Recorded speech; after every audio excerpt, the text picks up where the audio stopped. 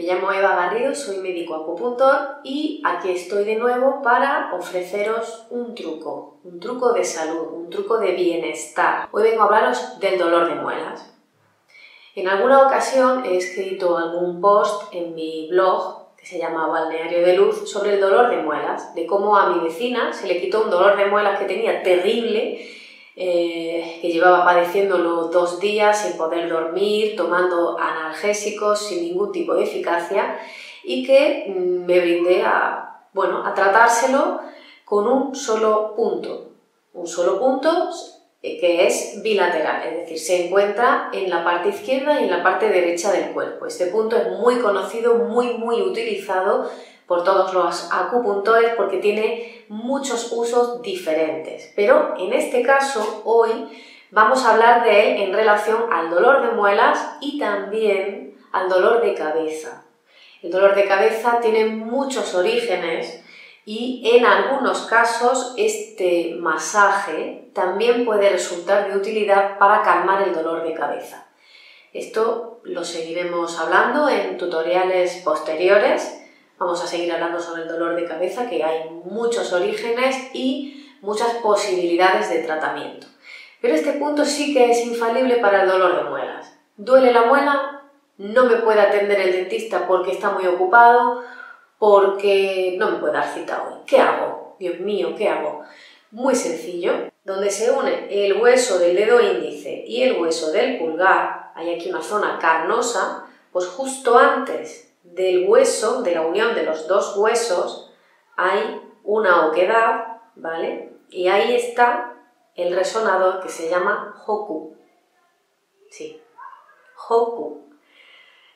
El significado en castellano sería el fondo del valle. Si lo piensas bien, es muy lógico porque esto tiene forma de valle, es como un valle entre dos montañitas. ¿Vale? Imagínate que estos son los pies de la montaña, pues esto sería un valle. Entonces en esta zona, Hoku, Hoku, voy a encontrar mi oquedad y voy a presionar y voy a dar un masaje en el sentido contrario a las agujas del reloj. Cuando me duelen las muelas, voy a dar un masaje en el sentido contrario de las agujas del reloj, como si mi mano tuviera el reloj puesto encima, ¿vale? Entonces, tomaré siempre aire y en exhalación doy el masaje.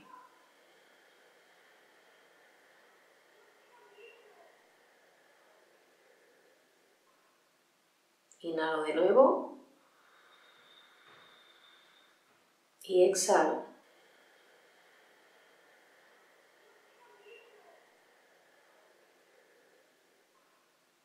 Voy a repetir esta acción seis veces. ¿De acuerdo? Evidentemente, este consejo es, pretende ser unos primeros auxilios, ¿vale? Podéis probar también en el caso de que os duela la cabeza. Evidentemente, eh, el tratamiento completo para una enfermedad dental o para una cefalea continuada, alguien que le duele la cabeza siempre eh, de manera muy repetitiva, no pasa solo por darse un pequeño masaje, aunque puede aliviar. Va a aliviar, te va a ayudar a tener la oportunidad de poder respirar y poder buscar ayuda, ¿vale?